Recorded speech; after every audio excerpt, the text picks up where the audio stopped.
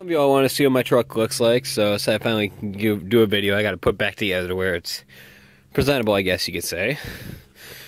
It's a 1992 Chevrolet K1500 four-wheel drive Sport Edition. That is a factory package, very kind of a rare package, although I got lucky and found this one. It's a uh, just single cab, short bed. That's part of the package. I don't think they offered anything else. This one has a six-inch super lift on it. I have 35, 1250 Toyo, Toyo Open Country MTs on it. Uh, and 17 by 9 black Raceline Assault wheels. I'll get up front here so you guys can actually see what the wheels look like when they're halfway clean. Because this truck is permanently muddy. See there? Pretty cool. I actually got a pretty good deal on them. They're my grad gift, so I got lucky. I put the newer 1994 grill on it. Just got the new emblem on it today. And then the bumper is a work truck style smoothie. The original bumper had the impact strips, which I thought were uglier than sin.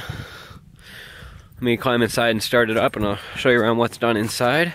Hopefully I didn't leave the sound system on full blast, or I'm going to miss my hearing.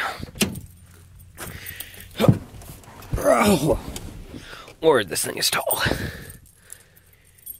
Key.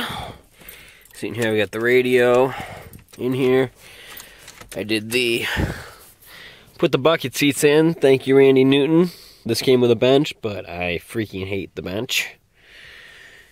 Right behind the seat here, you can see hopefully. Nope.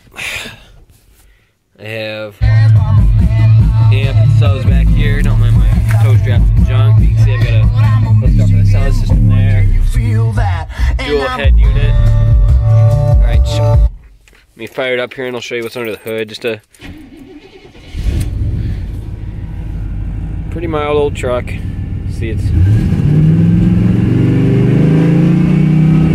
makes some good noise. It's got a Super 10 Flowmaster that's kind of redneck dumped. Well, the pipe's rusted off, but see if I can get away and hear it better.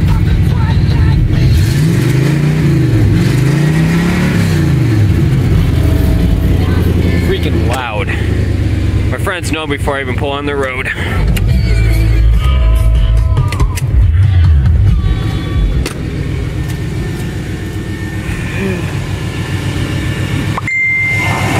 the hood, it's pretty stock, just did MSD wires, I got sick replacements, crap ass factory ones.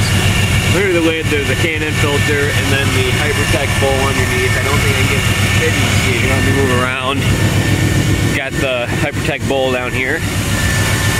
You can kind of see the intake there, but seems up a little bit. Moves along pretty good for an old truck. I've had it at 105 on the GPS. Don't mind the Ford, that's my dad's.